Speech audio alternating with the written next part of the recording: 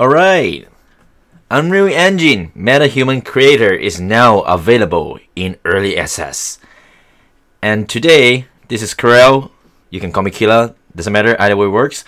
And we are going to talk about how can we use MetaHuman Creator and also why it is so amazing and is game changing. And in the end of the video, I'm going to show you guys how to import it to the previous project that we did with the Live Link. And if you didn't watch it yet, uh, please feel free to go watch it in my previous video in my channel. And if this video helped you a little bit, please press like and subscribe. Alright, let's get started. So you can see this is the main website of Unreal Engine and of course I'm going to post all the link later on uh, in the description below. And when you go to the Unreal Engine website, you're able to see MetaHuman Creator is now available in early access. They mention it, blah blah blah. They mention how how the unique character can be created, and there's like 50 ready-made MetaHumans. You know, 50 ready-made MetaHumans. It don't seems like a lot of MetaHumans over there. Like, uh, I mean, if everyone going to have their own character, uh well, most likely you will recognize the characters repeating with other characters in their own games. But the Meta Human Creator is really amazing in a really unique way, which I'm gonna show you soon. Like when so first, how can you apply it, right? So when you go to MetaHuman Creator, uh, you can actually request access and then just put on your email and they will send an email later. And if you did have your account, you just press launch the app and then you're able to go to the app like I did. So this is the MetaHuman I created and I try to mimic my facial structure and also how my face looks like and my hairstyle and I would say it is really amazing and it, you can look into this. This is not a 2D pictures. Uh, you can actually right click on it and then move in different angles. You can even zoom in, zoom out. Um, and you could actually you can actually see see see see see in 3D in any way you want. Like the the hair is really nice, and the cool part, this is this is all built in cloud, and I'm gonna show you guys how to connect to your project later. But this is really amazing. What Unreal is doing. This is like it doesn't matter where you are. Uh, if you have browser, you can just create your project, and when you go to create metahumans, I'm going to start it, and you can see there's a lot of uh, default character. Oops. I guess my computer is getting a bit heavy. Um, you see the, the Ada that we had earlier, and also, where's the guy? Alright, so Taro. I think it's a Japanese name. So he he's over here and you can choose whatever you want. I my base was actually uh, a lady over here called Vivian. So, but I find out that there's a really interesting features that's called blending. So let's let's choose anything uh, we want. I don't know. I kind of want to do something like Wukong. Wukong is like the Monkey King. So maybe I'll use a base from Trey.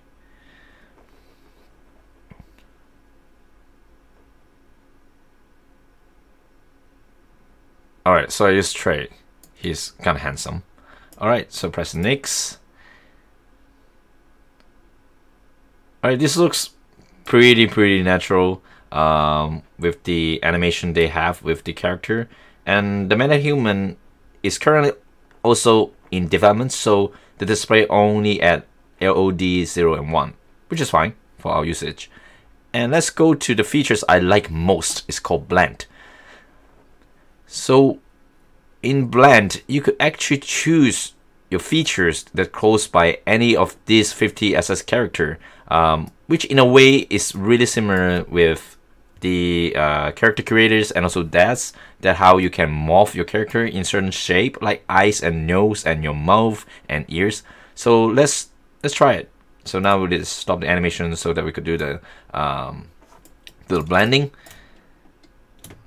And you can see there's some hotkey reference that you could uh, use like holding its orbit and when you right click you could choose the focus point something like that. Just follow it and you could choose camera one two three four five you know you can see every part of the body.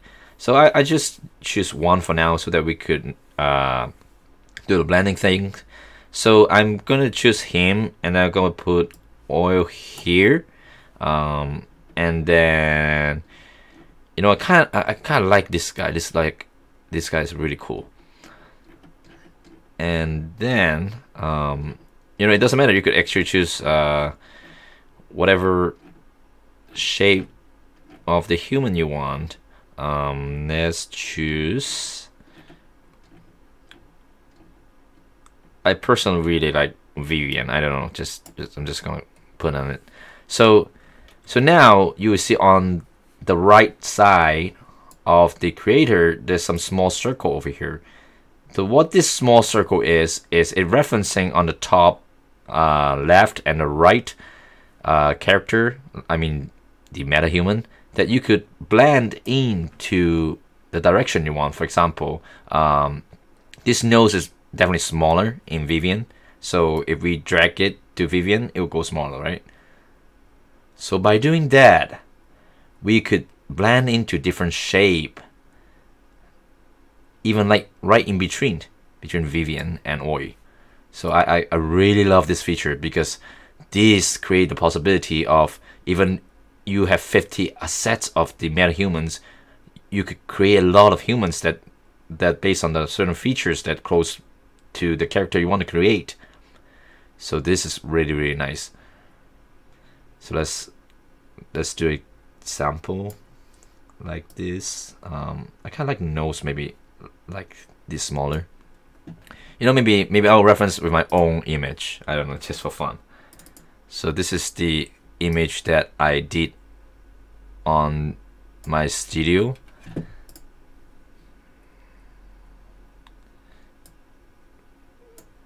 So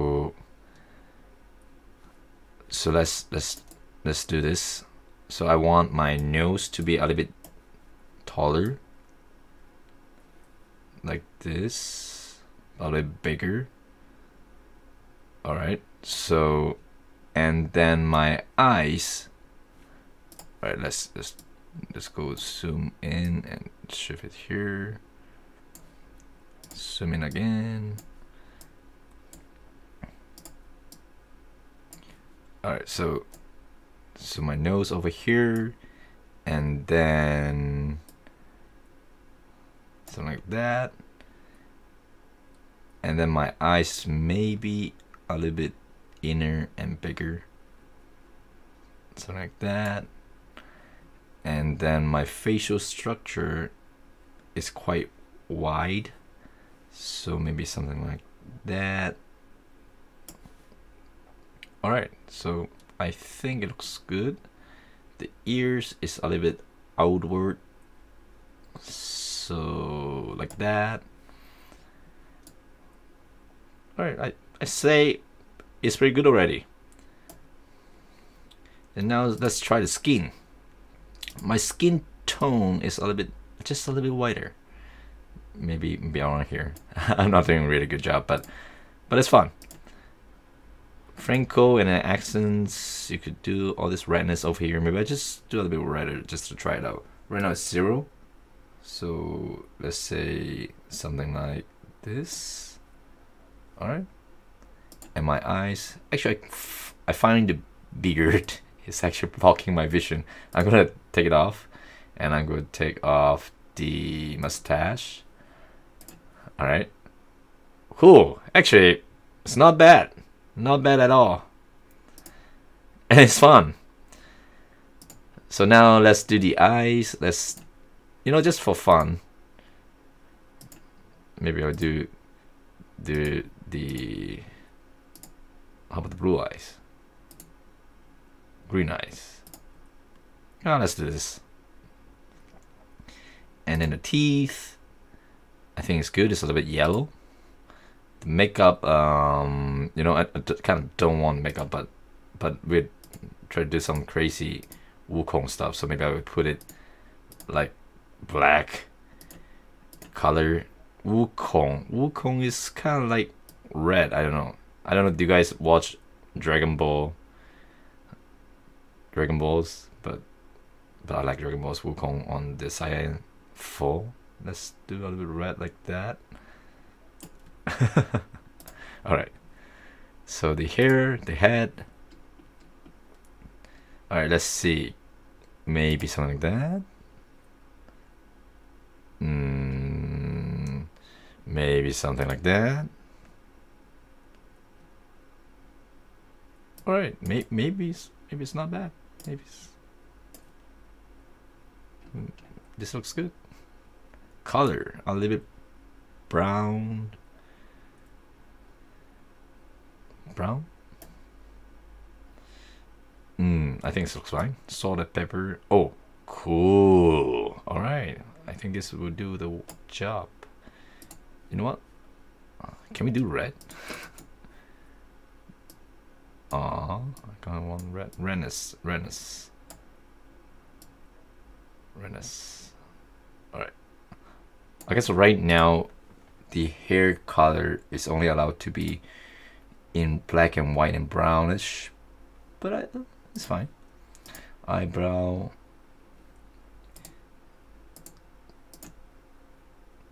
All right, maybe it's something like that. I just take off my pictures. Uh, and eye slash you know we're doing something like that should I take off the beard oh this this this is cool now do I look like a monkey king now? Mustache. I don't think I need that. Body type. Should I do tall or average? You know what? I'm gonna choose average. And then tops. I like I like this. I like this already. And the bottom. But well, you know what? Just for fun. Just for fun. Let's, let's do the top. Maybe do red? Red?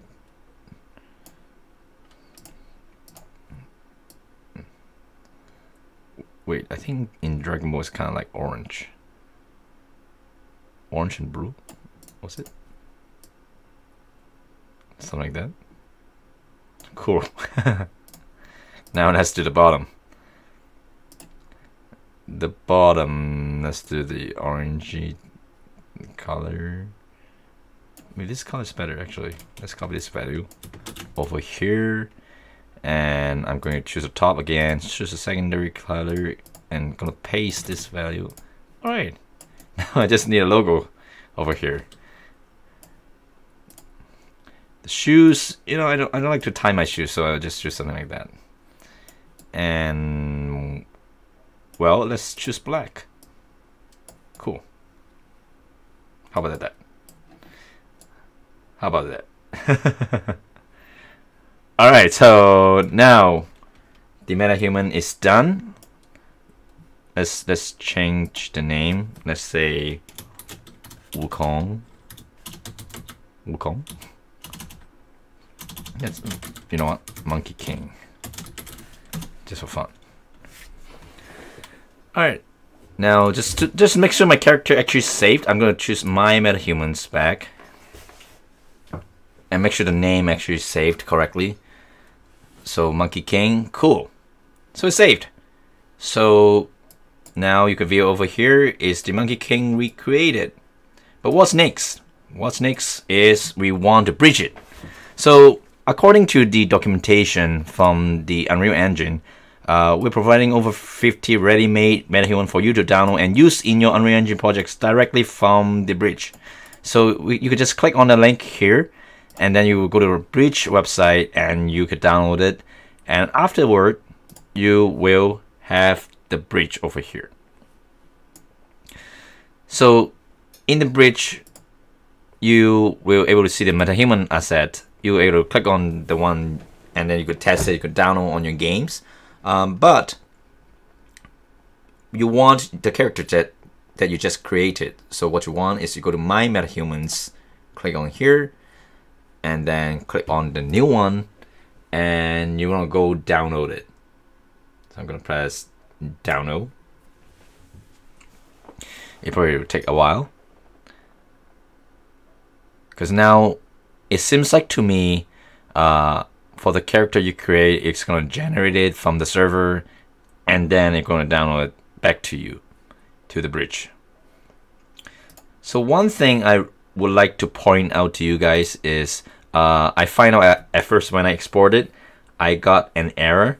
And the error is because I didn't point the correct location for my plugin and for my project. So you want to do that properly. So for the plugin is where you locate your Unreal Engine. I think the documentation said um, it recommend you to do the 4.26. So choose 4.26 here. Um, and then go to your 4.26. Eh, for mine, is in program files, Epic Games, and Unreal Engine 4.26. And then you want to go to your engine and plugins folders. And then my default project is the project that uh, we did earlier for the MetaHuman um, S. So I'm gonna to open the project and go just wait it to generate. So we'll stop the video here and we can continue after the load.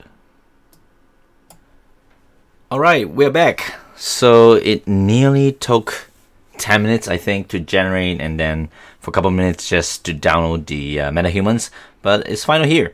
So just click on the MetaHumans that I want to export. Uh, choose the resolution. I, I mean I would just choose, choose the 8K because we generated already by 8K press export and now in my Unreal Engine that for my previous project you can see it's importing it yes yes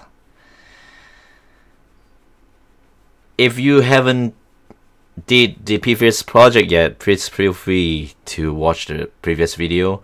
Um, Alright, now the loading is done, the shade is compiled.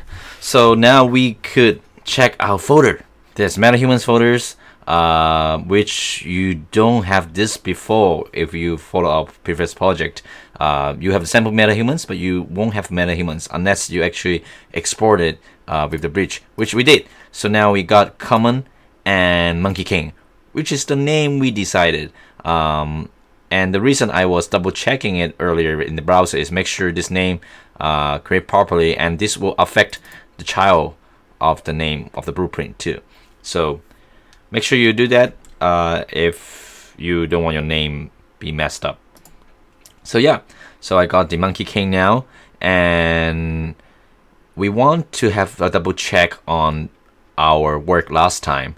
So you want to make sure you select your device properly. Uh, in my case, it's Kila XL Pro. Um, and then over my MetaHuman, I turn off the 001 like we did last time, 004. And then now if we, if we press play, okay, I also want to include the face head. So now if I press play, actually let me stop and start the recording from my phone. So now I start. And when I press play, oh yes, alrighty, yay, uh, yes, all right. So so we start properly, and now we could test on our new MetaHuman that we created. Alright, so now I want to take my Monkey King over here. Let's you know what? Let's let's drag and drop over here. And I want to change the coordinate of these characters. So I'm gonna move here. I'm gonna move here. I want to rotate it so I press E 90 degrees and press W again uh, to change the coordinate. And I want it to be around the same height because I, I want a camera to look there. So now I'm going to turn up the 004 MetaHuman and then I'm going to do the same thing again like what we did last time choose the face subject face head on now I just want to press I will save it and then press play. Let's see what happened. Oh, sorry. I guess the 004 is on because of the uh, animation sequence. So I'm gonna just choose 004 and I'm gonna move it back. Just make sure it's don't block this. And press play. Uh, all right. Take it. This is not even my final form yet.